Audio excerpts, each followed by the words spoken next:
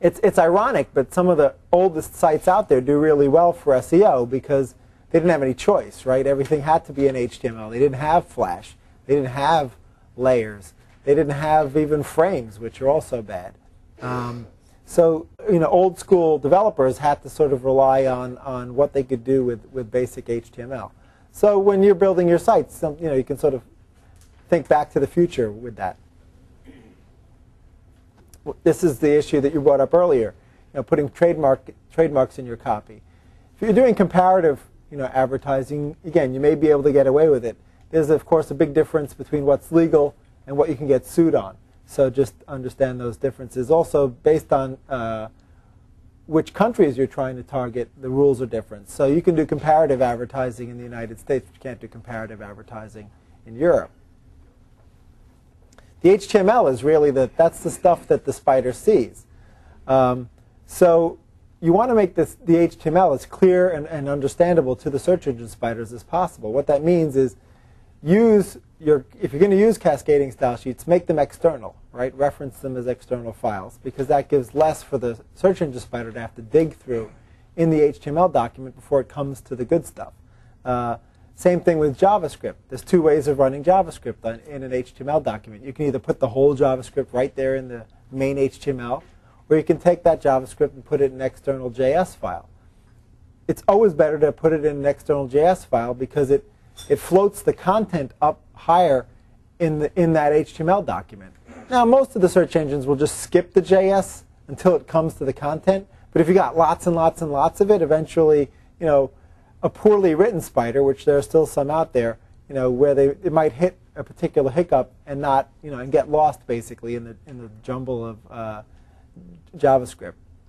So you can use HTML val validation tools to sort of check to see uh, whether your static or dynamic HTML is, is compliant with sort of basic guidelines too. You can see whether or not you might uh, have a, a, bug in your HTML that the browser actually renders fine, but the search engine spider might not actually be able to get through it. And that's where those HTML validators come in handy. So this is essentially what HTML looks like. You know, it, it's it's hypertext markup language, right? And so you can see within there you've got your, you know, your title, your page title, uh, your meta description tag, your meta keywords tag, and then you've got you know the beginnings of your your copy. So this is actually the you know the HTML from kevinlee.net, which is my personal uh, homepage. So you know you can see you know I've put keywords into the title, which I found to be important. I still use the meta description and meta keywords tag because I'm like, what the heck? They're there. Might as well use them. You don't get penalized for them. And a couple of engines may, and again, in a tie environment, they may rely just a little bit on those. But most of them ignore them entirely. So this is essentially what the spider sees, right? Spider comes to the site. It sees this, and it knows how to strip out the things with the brackets around it. It knows where to find the juicy bits that relate to what the content is about. It knows how to dig past that. But you would sometimes find sites where between, uh, you know, the end of the meta area where the the head finishes and you start to have your body, you, will have some some sites with a lot of JavaScript where there could be hundreds of lines of code, hundreds of lines of text before you get to the body copy, and so taking that and pulling it out into a separate file can be really useful. Yep. File name and alt tag show up uh, for a sweater? Will they read that, or they filter it out because they see it as image source and all? This, you mean? if I'm doing a search on Kevin, let's say, is that two more relevant words there? It, no, it'll it, it'll slightly impact relevance. It it tends to image alt tags, which we'll talk more about later, um, are more useful to just help your site come up high for image searches, really, than than general searches. But again, in a tiebreaker environment, if it gives you like a, an extra one percent more relevance just by being there, and that's all it takes to bring you from position, you know, six to position four, that could be pretty dramatic. So it, it's all about sort of breaking the tie because there's so much content out there about almost everything now that you know on the surface everything seems like it's about the same level of relevance, and it's just it's just these tiebreaker, these little nuances which are the tiebreakers. Um, the other way is is how to write your copy. Um, folks who and has anyone ever had to be a journalist, a reporter, anything? All right, so you probably remember that in the inverted pyramid style was the concept of, of writing with your juiciest stuff first. Because the editor might have to cut your story down in length because there may not be room for it. So the idea was if you write in inverted pyramid style, start with your juiciest content first. If we have to cut it short, we won't lose too much. So same thing's true for search, but for a different reason. Because if you start off with, you know, what is this really about? What's the impactful stuff? What is the, the true essence of this page? If you start off with that stuff, that's the first stuff that the engine's going to find. And that's therefore the stuff that the engine will decide that page is really about.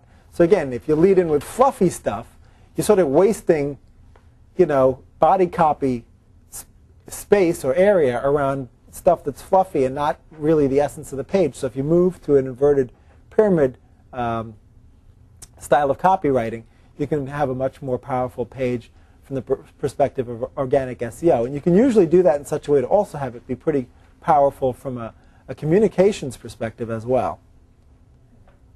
Yep.